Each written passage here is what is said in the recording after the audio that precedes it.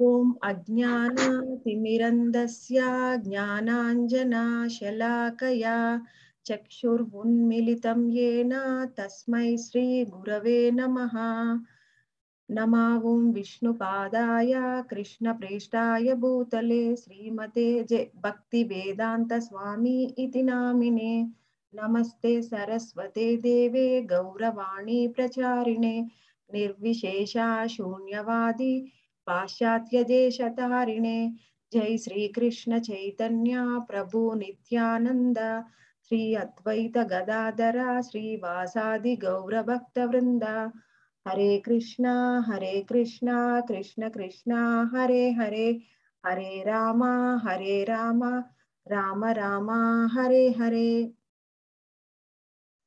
ఈ రోజు ఏకాదశిని ఆ యొక్క మహత్యం రేపు మనం చేసుకునే ఏకాదశి యొక్క మహత్యం ఏందో తెలుసుకుందామండి మనము. ఈరోజు ఆ ఏకాదశి పేరు పాండవ నిర్జల ఏకాదశి. ఆ నిర్జల అంటే నిర్ అంటే లేకుండా జల అంటే జలము. అంటే జలము లేకుండా రేపు చేసే వ్రతాన్ని నిర్జల ఏకాదశి అంటారండి. ఎందుకు రేపు ఏకాదశికి అంత ప్రత్యేకత? ఎందుకు జలం కూడా తీసుకోకుండా చేయాలి అనేది ఈరోజు మనం చూద్దామండి. అసలు ఏకాదశి ఎందుకు జరుపుకుంటామంటే మనకి బృందావన్లో చాలా మంది సాధువులు ఉంటారండి. మొత్తం బృందావన్ మొత్తం కూడా భక్తులతో నిండిపోయి ఉంటుంది.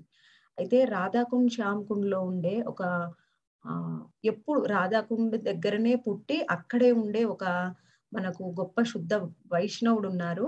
ఆయన్ని కొంతమంది మన భక్తులు అడిగారంట. అసలు నేను కృష్ణ ప్రేమని పొందాలంటే కృష్ణ భక్తిని పొందాలి అంటే నేనేం చేయాలి? నాకు ఒకటే ఒక మార్గాన్ని చెప్పండి అని అడిగారంట భక్తులు. అడిగితే ఆయన నేను ఒకటి కాదు రెండు చెప్తాను అని చెప్పారంట. అందులో ముఖ్యమైనది హరినామ సంకీర్తన.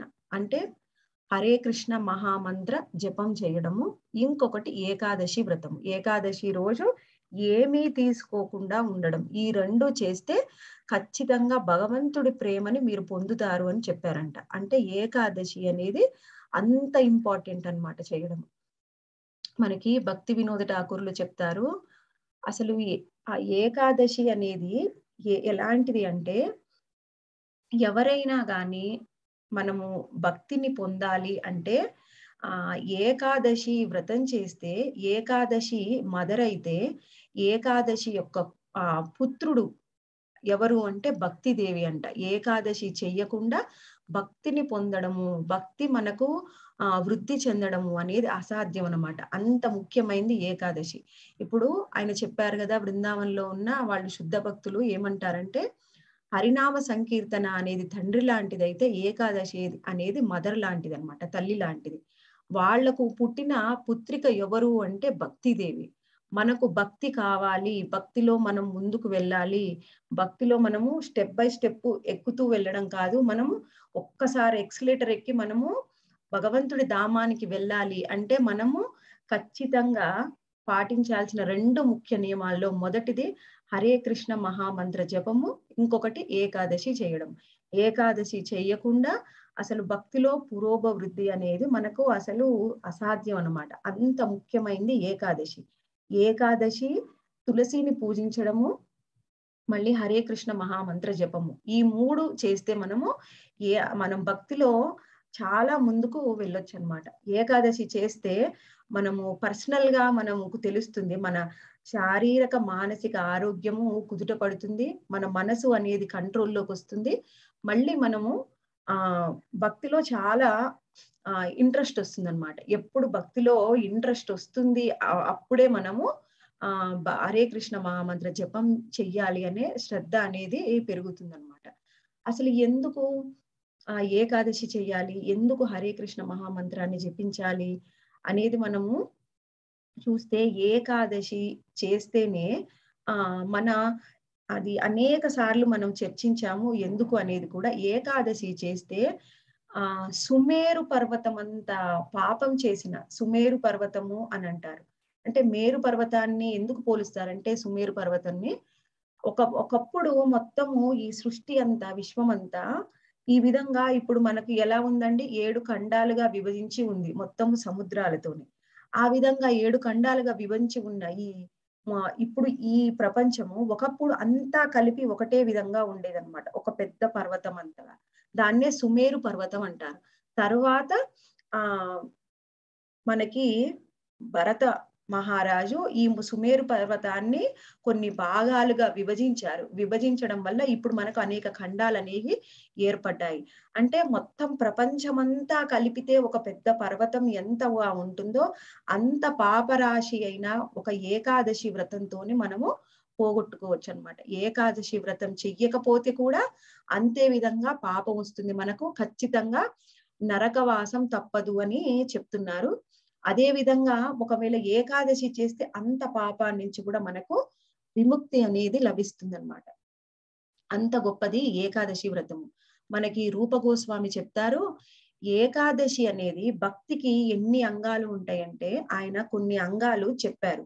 ఆ మనం భక్తిలో పురోభివృద్ధి చెందాలి పురోగతి చెందాలి అభివృద్ధి చెందాలి అంటే అందులో ముఖ్యమైన అంగాలు అరవై నాలుగు అంగాలు చెప్పారు. అందులో ఒకటి ఏకాదశి వ్రతం కూడా.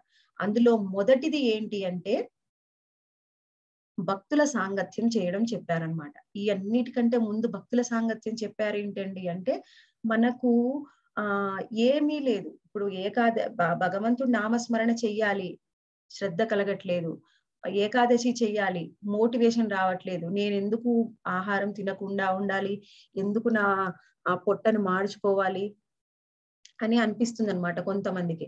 ఆ ఇంట్రెస్ట్ నాకు రావట్లేదు. అంటే నీకు భక్తుల సాంగత్యం ఉండాలి. నా పక్కన వాళ్ళు ఎవరైనా చేస్తున్నారు. అదే నేను ఏకాదశి చేయట్లేదు అనుకోండి ఏకాదశి చేయలే చెయ్యాలి అనే ఇంట్రెస్ట్ రావట్లేదు.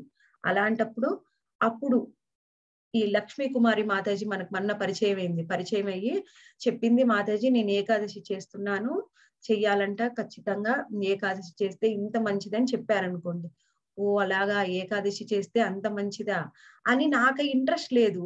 కానీ వాళ్ళు చెప్పారు కాబట్టి వాళ్ళతో పాటు నేను కూడా చేస్తాను అనమాట అదే విధంగా భక్తిలో మనము అభివృద్ధి చెందాలి పురోగమించాలి అంటే భక్తుల సాంగత్యం చాలా ఇంపార్టెంట్. మళ్ళీ సత్యవతి మాతాజీ మాట్లాడాం. మనం ఇప్పుడు మీటింగ్లో కలిసాం. మాతాజీ ఈ రోజు ఏకాదశి రోజు మీరు బా అది చాంటింగ్ చేశారా? అంటే ఆ చాంటింగ్ చేశాను మాతాజీ. నేను ఈ రోజు థర్టీ టూ రౌండ్స్ చేశాను. కామేశ్వరి మాతాజీకి ఫోన్ చేశాను అనుకోండి మాతాజీ నేను ఈరోజు సిక్స్టీ ఫోన్ రౌండ్స్ చేశాను అని చెప్తుంది అనుకోండి. అప్పుడు నాకు అనిపిస్తుంది అనమాట అయ్యో ఏంటి వాళ్ళు అంతగా చేస్తున్నారు? నేనేం చేస్తున్నాను? అని మనకి పోలిక అనేది మొదలవుతుంది వాళ్ళతోని. పోల్చుకొని మనము ఖచ్చితంగా ఏకాదశి చేయడం ప్రారంభిస్తాం. ఏదైనా చెప్తే వాళ్ళు అనంత ప్రభుజీ మొన్ననే జాయిన్ అయ్యాడు ఎంత బాగా చేస్తున్నాడు ఏకాదశి అని తెలిసిందనుకోండి మనకేమనిపిస్తుంది? మనం కూడా చెయ్యాలి వాళ్ళతో పాటుగా. అనే మోటివేషన్ అనేది వస్తుంది అనమాట అందుకని భక్తి జీవితంలో మనము ఏ విధంగా మనకి భౌతిక జీవితంలో ఏ ఏమని చెప్తారు? మనం ఏం అవ్వాలనుకుంటున్నామో వాళ్ళ సాంగత్యం చేయాలంట. ఇప్పుడు మనము ఒకవేళ ఒక ఒక మా ఒక స్టూడెంట్ బాగా చదవాలనుకోండి ఫస్ట్ క్లాస్ రావాలి క్లాస్ ఫస్ట్ రావాలి అంటే ఏం చేయాలి? మంచి ర్యాంక్ హోల్డర్స్ తోని ఫ్రెండ్షిప్ చేయాలి. బాగా చదివే వాళ్ళతోని క్లాస్లో ఫ్రెండ్షిప్ చేయాలి. కానీ ఆ సరిగ్గా చదవని వాళ్ళతో ఫ్రెండ్షిప్ చేస్తే ఏమవుతుందండి? వాళ్ళు ఏ విధంగా టైం వేస్ట్ చేస్తున్నారో అదే తెలుసుకొని మనం కూడా టైం వేస్ట్ చేస్తాం అనమాట అందుకనే భౌతిక జీవితంలో అయినా ఆధ్యాత్మిక జీవితంలో అయినా ఒకటే రూల్ అప్లై అవుతుంది అనమాట మనం ఏం చెయ్యాలనుకుంటున్నాం? మనం ఏం అవ్వాలనుకుంటున్నాం అనేది మనము ఫస్ట్ మనకంటూ మనం ఒక లక్ష్యాన్ని డిసైడ్ చేసుకోవాలి. ఒక డాక్టర్ కావాలంటే డాక్టర్స్ తోనే ఫ్రెండ్షిప్ చేయాలి. ఒక పెయింటర్ కావాలంటే పెయింటర్తో ఫ్రెండ్షిప్ చేస్తే వాళ్ళు ఏం చేస్తున్నారు? వాళ్ళు ఎలాంటి మెలకులు యూజ్ చేస్తున్నారు? ఎలా కలర్ మిక్సింగ్ చేస్తున్నారు? అవి మనం తెలుసుకొని మనము మన లైఫ్లో అప్లై చేసుకోవచ్చు. ఒకవేళ మనము ఒక పెయింటర్ కావాలని చెప్పి ఆ మనము ఆ ఒక మ్యూజిషియన్ తోని మనం ఫ్రెండ్షిప్ చేసామనుకోండి ఏ లాభం ఉండదు అనమాట మనకి ఏ విధమైన గ్రోత్ అనేది ఉండదు. నువ్వు ఏం అవ్వాలనుకుంటున్నావో వాళ్ళతోనే ఫ్రెండ్షిప్ చేస్తే మనము ఆ అభివృద్ధి అనేది మనకు జరుగుతుంది అనమాట ఆ విధంగా మనం భక్తి జీవితంలో ముందుకు వెళ్ళాలి అంటే భక్తులతో సాంగత్యం చేయాలి. ఖచ్చితంగా ప్రతిరోజు వీలైనంత వరకు వాళ్ళ సాంగత్యంలో ఉండాలి. అయ్యో నాకు ఈరోజు అస్సలు చాంటింగ్ చేయాలనిపించట్లేదు. అనిపించింది అనుకోండి ఎవరైనా భక్తులుంటే వాళ్ళతో ఫోన్ చేసి మాట్లాడొచ్చు అనమాట నాకు ఇట్లా ఈ రోజు అట్లా అనిపిస్తుందండి నాకు అస్సలు ఇంట్రెస్ట్ లేదు. అంటే వాళ్ళు లైఫ్లో ఏం చేశారు? ఈ రోజు మార్నింగ్ లేసి మేము ఏం చేసామని వాళ్ళు అవన్నీ చెప్తూ ఉంటే అది మనకు అనిపిస్తుంది అనమాట నాకు చెయ్యాలి అని. ఆ విధంగా భక్తుల సాంగత్యము మళ్ళీ హరే కృష్ణ మహామంత్ర జపం చేయాలి. హరే కృష్ణ మహామంత్ర జపం చేయాలి అంటే అసలు మాకు రుచి రావట్లేదండి. అసలు ఆ రుచిని ఎలా పెంచుకోవాలి? మాకు అసలు ఆసక్తి రావట్లేదు. అంటే ఎందుకు ఆసక్తి రావట్లేదు అంటే భగవంతుడి నామస్మరణ యొక్క విలువ మనకు తెలియట్లేదు. అందుకని మనకు ఆసక్తి రావట్లేదు. ఆ విలువ తెలుసుకోవాలి అంటే ఏం చేయాలి?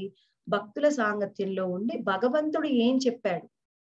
మళ్ళీ భగవంతుడు ఏం చేశాడు? ఆయన లీలల్ని తెలుసుకుంటే మనకు ఆయన నామాన్ని స్మరించాలి అనే ఆసక్తి అనేది వస్తుంది అనమాట అందుకని భగవద్గీత భాగవత పారాయణం చేస్తూ ఉంటే ఆయన నామస్మరణ చెయ్యాలి అనే శ్రద్ధ అనేది మనకు కలుగుతుంది. తర్వాత మనము ఏకాదశి అనేది ఖచ్చితంగా పాటించాలి. అయితే ఏకాదశి ఎందుకు పాటించాలి? దానికి ఎన్ని రకాలుగా ఏకాదశిని పాటించచ్చు దాని వల్ల మనకు ఉపయోగం ఏంటి? ఏ విధంగా మన శారీరక మానసిక ఆరోగ్యాలు మనకు మెరుగ్గా ఉంటాయి అనేది మనం ఇంతకుముందు ఏకాదశి క్లాస్లో డిస్కస్ చేసామండి ఆ వీడియో తర్వాత మీకు లింక్లో నేను అప్లోడ్ చేస్తాము. మళ్ళీ ఒకసారి అది చూడొచ్చు. అయితే ఈ రోజు మనము ఈ రోజు ఏకాదశి యొక్క ప్రాముఖ్యత ఏందో మనం ముఖ్యంగా తెలుసుకుందాం. ఈ పాండవ నిర్జల ఏకాదశి అనేది ఎందుకు అసలు పాండవుల పేరు వచ్చింది ఈ ఏకాదశికి ప్రత్యేకంగా అనేది తెలుసుకుందాం ఇప్పుడు. మామూలుగా ఇప్పుడు ఏం మాసం అండి జ్యేష్ఠ మాసం అన్నమాట అయితే మనము నెలలో రెండు సార్లు ఏకాదశి వస్తుంది. ఎప్పుడు వస్తుందండి ఆ మనము ఒక నెలలో పౌర్ణమి నుంచి అమావాస్యకి మళ్ళీ అమావాస్య నుంచి పౌర్ణమికి ఒక పదిహేను రోజులు ఉంటుంది కదా? ఈ పౌర్ణమి నుంచి అమావాస్యకి ఉండే ఈ సమయాన్ని మనము ఆ శు కృష్ణ పక్షము అంటాము. ఈ కృష్ణ పక్షములో పదకొండవ రోజుని ఏకా ప్లస్ దశ అంటే ఏకాదశి అంటే పదకొండవ రోజుని మనం ఏకాదశి అంటాము. ఆ రోజున మనము ఏకాదశి వ్రతాన్ని చేస్తాం. ఆ విధంగా నెలలో రెండు సార్లు వస్తుంది. ఒకటేమో కృష్ణ పక్షంలో రెండవదేమో శుక్ల పక్షంలో అయితే ఇప్పుడు వచ్చిన మన ఈ ఏకాదశి జ్యేష్ఠ మాసంలో శుక్ల పక్షంలో వచ్చే ఈ ఏకాదశిని మనము ఇప్పుడు మనం మాసము జ్యేష్ఠ మాసం అండి ఇప్పుడు మనం శుక్ల పక్షంలో ఉన్నాము. దీన్ని మనము ఇప్పుడు వచ్చే ఏకాదశి నిర్జల ఏకాదశి అంటాము దీని దీని వృత్తాంతాన్ని ఎక్కడ వివరించారు? అంటే దానికి మనము బ్రహ్మ వైవర్త పురాణంలో దీని గురించి మనకు వివరించారు. అందులో వ్యాస వ్యాసదేవుణ్ణి భీమసేనుడు తెలుసు కదండి? పాండవ మధ్యముడు భీమసేనుడు వెళ్ళి ఆయన్ని ప్రశ్నిస్తున్నారనమాట ప్రశ్నిస్తున్నారు ఈ ఏకాదశి గురించి. అయితే భీమసేనుడు ఏం చేశారండి? భీమసేనుడు ఒకసారి వ్యాస మహాముని కలిశారనమాట కలిసి అడుగుతున్నారు. ఆయనకి ఏమవుతారండి పితామహ. పితామహ ఆ మాకు ఏకాదశి నేను చెయ్యలేకపోతున్నాను ఇది నెలలో సంవత్సరంలో ఇరవై నాలుగు సార్లు వస్తుంది కదండి. నేను చెయ్యలేకపోతున్నాను మరి మా సోదరులు మళ్ళీ మా మాత కుంతి మాత నా భార్య ద్రౌపది అందరు కూడా ఏకాదశి చేస్తున్నారు. కానీ నేను చేయలేకపోతున్నాను. ముఖ్యంగా వాళ్ళందరూ కూడా నాకు చెప్తున్నారు ఏకాదశి చేయమని. ఆ మళ్ళీ మా ముఖ్యంగా మా అన్నయ్య ధర్మరాజు నాకు అనేక సార్లు చెప్తున్నారు ఏకాదశి చేయమని. నేను చేయలేకపోతున్నాను. అసలు నేను ఏం చేస్తే నేను ఆ నేనేం చేస్తే నేను ముక్తిని పొందగలను? ఏం చేస్తే నేను ఆ భగవంతుడి ధామాన్ని చేరుకోగలను అని భీమసేనుడు వ్యాస మహామునిని అడుగుతున్నారనమాట అప్పుడు వ్యాస మహాముని చెప్తున్నారు. ఆ వ్యాస మహాముని ఏమంటున్నారంటే ఎవరైనా సరే ఒక వ్యక్తి ఒక ఒక భక్తుడు భగవంతుడి ధామానికి చేరాలన్నా స్వర్గానికి వెళ్ళాలన్నా నరకాన్ యొక్క ఆ ద్వారాన్ని టచ్ చేయకుండా అసలు నరక ద్వారానికి మనం వెళ్ళకుండా ఉండాలి అంటే ఆ మనిషి ఖచ్చితంగా ఏకాదశి వ్రతం చెయ్యాలి అని చెప్తున్నారనమాట ఆ విధంగా అప్పుడు భీమసేనుడు ఆ ఆ విధంగా చెయ్యాలని చెప్పగానే భీమసేనుడు చెప్తున్నారనమాట ఓ మహాముని అందరూ చెయ్యగలరు కానీ నేను చెయ్యలేను. ఎందుకంటే నాకు ఆ నా కడుపులో వృక అనే అగ్ని ఉంది. ఆ అగ్ని నన్ను ఎప్పుడు దహిస్తూ ఉంటుంది. అతిగా భోజనం చేస్తే తప్ప ఆ అగ్ని అనేది చల్లారదు. అందుకని నేను ఏకాదశి వ్రతం చెయ్యలేను అని చెప్తారనమాట ఇంకా ఏం ఏముంటాయండి? అగ్ని ఆ అగ్ని అంట. అందుకని ఆయన ఏమంటారు? వృకోదరుడు అంటారు. ఆ అగ్ని అనేది ఎక్కువగా అగ్ని ఉంటే వాళ్ళని ఏం చేస్తుందంటే అగ్ని వాళ్ళు ఏమీ తీసుకోకపోతే ఆ లోపల శరీరాన్ని దహిస్తుంది అనమాట అంత ఆ బలంగా ఉంటుంది. భీమసేనుడి యొక్క కడుపులో ఉరుక అనే అగ్ని. అలాంటప్పుడు ఆయన అడుగుతున్నారనమాట నేను ఆ వ్రతాన్ని పాటించలేను కానీ మరి నాకు కూడా శుభం కలగాలి అంటే ఏం చేయాలో చెప్పండి అని అడుగుతున్నారనమాట అప్పుడు దానికి వ్యాసదేవుడు పలుకుతున్నారు అసలు ఈ కలియుగంలో ఎవరు కూడా విధి నియమాలను పాటించలేకపోతున్నారు సరిగా.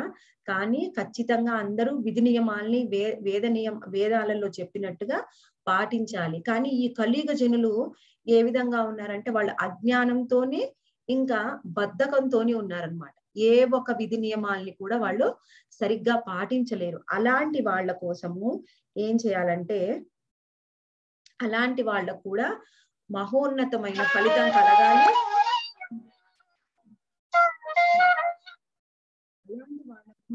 మహోన్నతమైన ఫలితం కలగాలి వాళ్ళకు కూడా శుభం కలగాలి అని దాని గురించి మనని అడుగుతున్నారనమాట వాళ్ళు ఏం చెయ్యాలి అంటే అప్పుడు వ్యాస మహాముని వాళ్ళకి చెప్తున్నారు. ఏమంటున్నారంటే ప్రతి సంవత్సరము శుక్ల పక్షంలో కృష్ణ పక్షంలో ఆ రెండు సార్లు ఏకాదశి వస్తుంది. ప్రతి మనిషి ఖచ్చితంగా వాటిని పాటించి తీరాలి. ఆ విధంగా పాటిస్తేనే వాళ్ళకు ఉత్తమ గతులు వస్తాయి అని చెప్పారు. లేకపోతే వాళ్ళకు నరకం గ్యారంటీ అని చెప్తున్నారు అనమాట అది వినంగానే భీమసేనుడు ఆ వణికిపోయారనమాట ఒక చిగురుటాకుల అంత ఆయన గొప్ప వ్యక్తి. ఆయనకు అంత భయం వేసింది. అప్పుడు ఆయన అడుగుతారు నేను చెయ్యలేని మహాముని నాకు నాలాంటి వాళ్ళు కూడా చెయ్యాలంటే ఒక వ్రతాన్ని నాకు ఉపదేశించండి అని అడిగినప్పుడు ఆయన చెప్తున్నారు అనమాట అప్పుడు ఆయన ఏం చెప్తున్నారంటే వ్యాస భగవానుడు జ్యేష్ఠ మాసంలో శుక్లపక్షంలో మళ్ళీ అది సూర్యుడు వృషభ రాశిలో కానీ మిథున రాశిలో కానీ వచ్చినప్పుడు మనము ఈ ఏకాదశిని పాటించాలి. అదే నిర్జల ఏకాదశి అంటాము. ఆ రోజు ఏం చేయాలి అంటే అసలు మామూలుగా ఏకాదశి అంటే ఏ విధమైన గింజ ధాన్యం కానీ పప్పు ధాన్యం కానీ తినకూడదు. వాళ్ళు ఏం తీసుకుంటారంటే భూమి లోపల దొరికే దుంపల్ని మాత్రం తీసుకుంటారు. కొంతమంది ఫలాలని కొంతమంది ఏమో వాటర్ తాగి నీళ్ళు తాగి ఏకాదశి చేస్తారు. కానీ ఈ ఏకాదశి రోజు నీళ్ళు కూడా తాగకూడదు. నీళ్ళు కూడా తాగకుండా ఏకాదశి వ్రతం చేయాలి.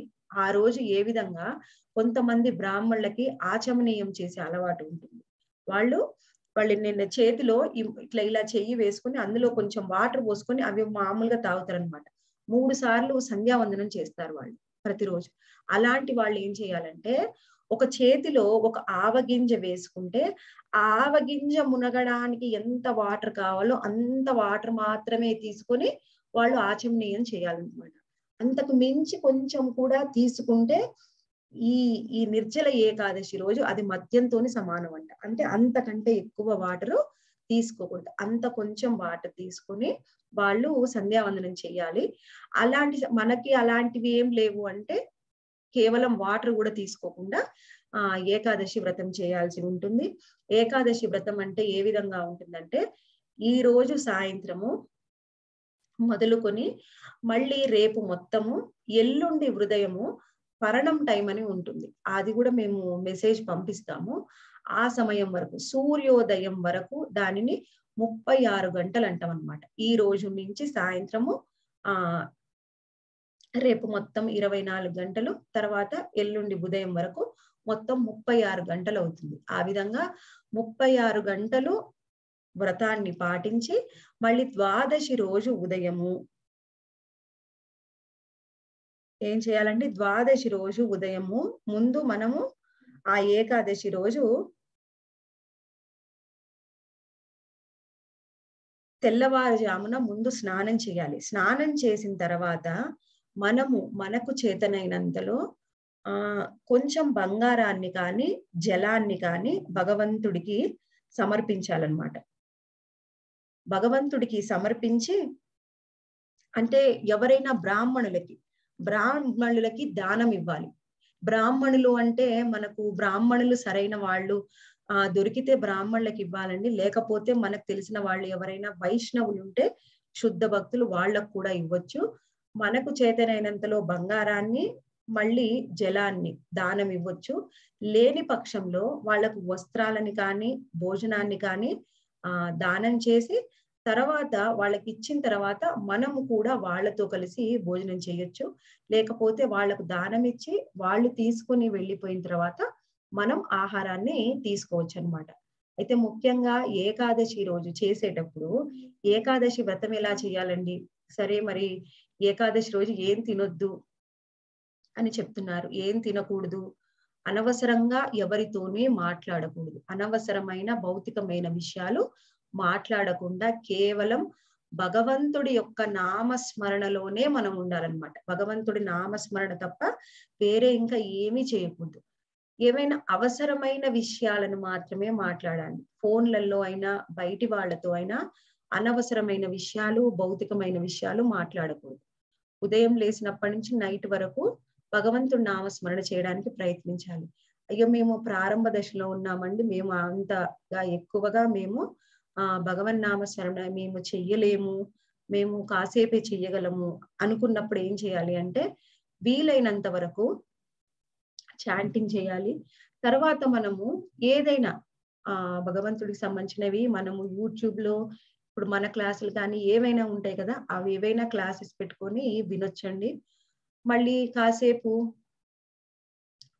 మనం ఇంట్లో ఆ ఏం చేయొచ్చండి? మనము భగవంతుడికి ఆరాధన. మామూలుగా మనము ఇంట్లో పూజ చేసుకుంటాం కదా ఆ విధంగా పూజ చేసుకోవచ్చు. మళ్ళీ ఇప్పుడు మనం రేపు ఏమైనా క్లాసెస్ ఉంటే అవి అటెండ్ కావచ్చు. భగవద్గీత భాగవతం మన క్లాసెస్ ఉంటాయి కదా ప్రతిరోజు అవి అటెండ్ కావచ్చు. అంతేగాని మనము చెప్పారు కదా అని చెప్పి అది ఏమీ తినకుండా ఉండాలి. అంతే అని ఆ టైంలో నిద్రపోకూడదండి. నిద్రపోయి ఫైవ్ సిక్స్ అవర్స్ నిద్రపోయి లేచి అమ్మయ్య ఇంకా డే అయిపోయింది. ఇంకా తెల్లారితే ఏకాదశి వ్రతం అయిపోతుంది. నాది ఫాస్టింగ్ అయిపోతుంది. ఆ విధంగా చేయకూడదు అనమాట అసలు మనం ఏకాదశి ఉపవాసము అంటే ఏంటంటే ఉప అంటే దగ్గరగా వాసము అంటే ఉండడం అన్నమాట. దేవుడికి దగ్గరగా గడపడం. దగ్గరగా గడపడం అంటే మనము భగవంతుడి యొక్క నామస్మరణ చేస్తూ ఆయన లీలల్ని వింటూ ఆయనకు దగ్గరగా ఉండాలి. అంతేగాని ఆ ఏదో ఒక టీవీ ప్రోగ్రాం పెట్టుకుని మన పక్కింటి వాళ్ళతో ఆ మాట్లాడుతూ ఆ విధంగా మనము సమయాన్ని వృధా చేయొద్దు.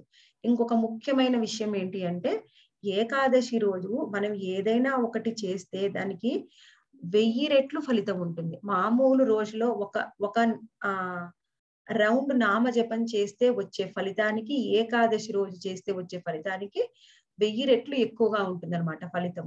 అదే విధంగా మనం ఏదైనా తప్పు చేసినా గానీ దానికి ఫలితం కూడా అదే విధంగా ఆ ఎక్కువగా ఉంటుంది అనమాట ఎవరినైనా ఒక మాట అన్నా ఒక నిందా వాక్యాలు చేసిన అనవసరపు విషయాల్లో మనం కలగజేసుకున్నా ఆ అనవసర వాళ్ళ గురించి గాసిప్స్ విన్నా మనకి ఏం చేస్తుందండి ఆ ఫలితం కూడా అట్లనే. ఆ ఎక్కువగా మనం చేసిన దానికంటే ఎక్కువగా ఫలితాన్ని అనేది వస్తుందన్నమాట. అందుకని ఏకాదశి మనం చేస్తూ మనకు తెలిసిన వాళ్ళందరికీ కూడా ఏకాదశి వ్రతాన్ని చేయమని చెప్పాలి. ఇంకా ఏం చెప్తున్నారంటే ఇక్కడ వ్యాస భగవాను ఏమంటున్నారో చూద్దామండి ఇంకా ఇక్కడ. అయితే బ్రాహ్మణులకు దానం ఇచ్చి పాటించడం వల్ల ఈ ఏకాదశిని పాటించడం ద్వారా సంవత్సరంలోని అన్ని ఏకాదశిలను పాటించిన ఫలితం వస్తుంది. మామూలుగా సంవత్సరంలో ఇరవై నాలుగు ఏకాదశిలు ఉంటాయి.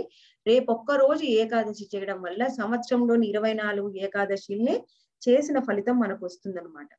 అంతే దీని గురించి ఒకసారి కృష్ణ భగవానుడు వ్యాస మహామునితో చెప్పారు అని ఆయన చెప్పారనమాట ఏమంటున్నారంటే ఎవరైతే నాకు సర్వస్వ శరణాగతి అయ్యి ఆ నా నాకు సర్వస్వ శరణాగతి అయ్యి నిరంతరం నన్నే ధ్యానిస్తూ ఈ నిర్జల పాండవ నిర్జల ఏకాదశిని ఎవరైతే పాటిస్తారో వాళ్ళు నాకు అత్యంత ప్రియమైన వారు అని కృష్ణ భగవానుడు వ్యాస మహామునికి చెప్పారంట ఒకసారి.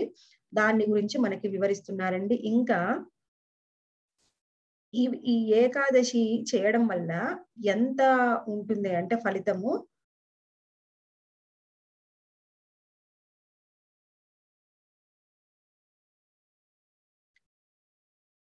ఈ ఏకాదశి రోజులలో అందరికీ తెలుసు కదండి ఏకాదశి రోజులలో అసలు భోజనం అనేది చెయ్యకూడదు. దానివల్ల వచ్చే ఫలితము ఏ విధంగా ఉంటుంది అంటే సకల తీర్థక్షేత్రాలని దర్శించినంత ఫలితం ఉంటుందంట. అంటే అన్ని తీర్థక్షేత్రాలని దర్శించిన ఫలితము అన్ని పుణ్య నదులలో స్నానం చేసిన ఫలితం కూడా వస్తుందంట. ఈ విధంగా ఏకాదశి వ్రతం చేస్తే ఆ వ్యక్తి మరణ సమయంలో ఆ భయంకర ఆకారాల ఆకారాలైన యమదూతల్ని చూడాల్సిన అవసరం లేదు. వాళ్ళ కోసము ఆ దివ్య శరీరాలతో విష్ణు దూతలు వచ్చి వాళ్ళ ధామానికి తీసుకొని వెళ్తారు. ఈ ఏకాదశి వ్రతం తర్వాత వాళ్ళ శక్తిని అనుసరించి ఎవరైనా గోవులను జనాన్ని దానం చేయొచ్చు. బ్రాహ్మణులకి ఆ విధంగా చేయడం వల్ల మనము పాప విముక్తులము అవుతామని చెప్తున్నారు. ఈ విధంగా ఏకాదశి ఫలితాన్ని విన్న తర్వాత ఇది భీమసేనుడు మాత్రము నేను చేస్తాను అని చెప్పారు. ఆయనతో పాటుగా అందరు పాండవులు కూడా మేము ఖచ్చితంగా ఈ ఏకాదశిని చేస్తామని అందరూ ప్రారంభించారనమాట అందుకని ఈ ఏకాదశిని ఆ పాండవ నిర్జల ఏకాదశి లేకపోతే భీమ ఏకాదశి అని కూడా పిలుస్తారండి. భీమసేన ఏకాదశి అని. అయితే ఈ ఏకాదశి చేయడం వలన మనము సుమేరు పర్వతం అంతా పాపమైనా గాని మనము పోగొట్టుకోవచ్చు. ఇంకా మనం ఇప్పుడే చర్చించాం కదండి అన్ని పుణ్య కార్యాలు చేసిన ఫలితాన్ని వస్తుంది అని పుణ్య కార్యాలు చేసిన ఫలితం పుణ్యక్షేత్రాన్ని ఏదో ఒకటి ఇట్లా పైపు ఏదైనా ఉన్నా చాలు. ఇంతకని అసలు పెట్టకుండా ఉండకూడదు. ఆ ఫలితం మనకు వస్తుంది అని మనము తెలుసుకోవచ్చండి. ఇంకా ఈ ఏకాదశి వ్రత మహిమని భక్తితో చదివే వాళ్ళు మళ్ళీ వినేవాళ్ళు కూడా వైకుంఠ లోకానికి వెళతారు. మళ్ళీ ప్రతిపదతో కలిసినట్టు అమావాస్య వ్రతాన్ని పాటించడము సూర్యగ్రహణ సమయంలో పితృతర్పణాలు. పితృలకి తర్పణాలు వదిలినా కానీ ఎంత ఫలితం వస్తుందో అంత ఫలితం మనం ఈ ఒక్క ఏకాదశి చేయడం వల్ల ఆ ఫలితాన్ని మనం పొందొచ్చు అనమాట అందుకని ఖచ్చితంగా అందరూ రేపు పాండవ నిర్జల ఏకాదశి మీకు చేతనైనంతలో అందరూ ఏకాదశి వ్రతాన్ని ఆ చెయ్యండి మాతాజీ. హరే కృష్ణ. ఎవరికైనా ఏమైనా ప్రశ్నలు ఉన్నాయా మాతాజీ?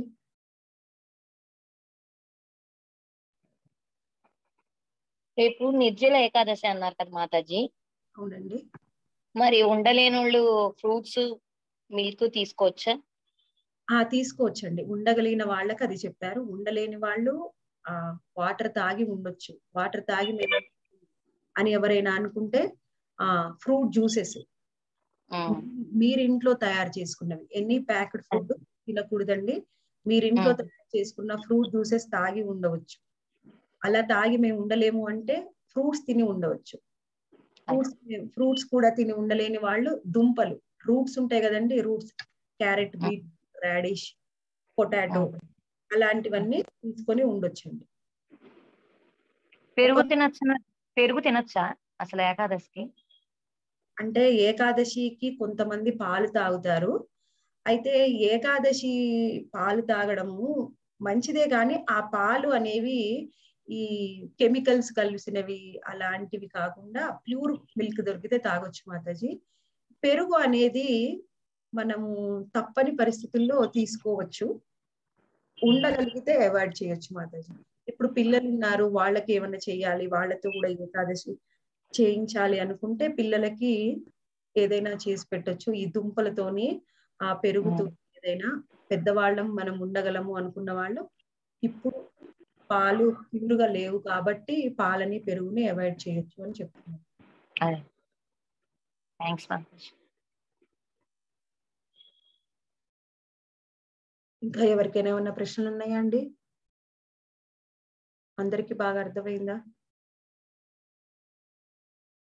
ఎస్ మాతాజీ మాతాజీ అందరూ చేస్తారా అండి ఏకాదశి రేపు? చేయడానికి మాతాజీ ఏకాదశికి ముందు రోజు ద్వాదశి నైట్ కూడా ఫ్రూట్సే తీసుకోవాలా? అవును మాతాజీ ఒకవేళ మీరు ఏమైనా తీసుకోవాలి అనుకుంటే సూర్య సూర్యాస్తమయానికి ముందు తీసుకోవాలి మాతాజీ. ఆ ఒకవేళ సన్సెట్ అయింది అంటే తప్పని పరిస్థితులలోనే తీసుకోవాలి కానీ ఫ్రూట్సే తీసుకుంటే మంచిది మాతాజీ. అదే. ముప్పై ఆరు గంటలు అదే.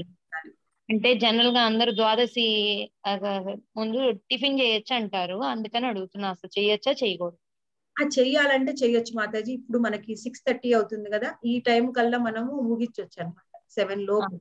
సెవెన్ అంటే సన్సెట్కి ముందు సూర్యాస్తమయానికి ముందు. అదే సరే. థ్యాంక్స్ మాతాజీ. ఇంకా చెయ్యాలంటే ఎవరికైనా ఏమన్నా ఉన్నాయా అండి? ఇంకా ప్రశ్నలు అనుమానాలు? ఎందుకు ముప్పై ఆరు గంటలే ఏకాదశి చేయాలి? అసలు ఏకాదశి చేయడం వల్ల మన ఆరోగ్యానికి ఏం లాభం ఉంది? అలాంటివన్నీ ఇంకొక వీడియో ఉంది మాతాజీ. అది కూడా పంపిస్తాను ఈరోజు షేర్ చేస్తాను. అది కూడా మీరు అందరూ వినండి.